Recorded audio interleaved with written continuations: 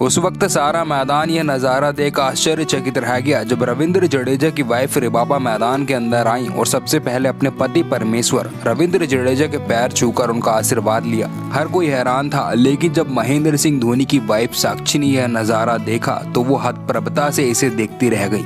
उनसे भी रहा नहीं गया और आगे वो हुआ, जानकर आप भी हक्के बक्के रह जाएँगे। जी हाँ दोस्तों, भारतीय संस्कृति जहाँ पर पत्नी अपने पति के आगे नज़रें उठाकर बातें नहीं करती, हमेशा उनका सम्मान करती हैं। जिसका एक उदाहरण पेश किया रविंद्र जडेजा की पत्नी रिवाबा ने। उन्होंने सर में पल्ला लिए। रविंद्र जडेजा के पैर छूकर सारे हिंदुस्तान का दिल जीत लिया, जहाँ पर आजकल स्टार्स की वाइफ कम कपड़ों में भरे मैदान आ जाती हैं। वहीं रविंद्र जडेजा की वाइफ रिबाबा ने संस्कारों को सर्वोच्च रखा, साड़ी पहनकर मैच भी देखा और संस्कृति भी बचाई। आपको यह नज़ारा कैसा लगा? कॉमेंट ज़रूर कीजिएगा। Thanks for watching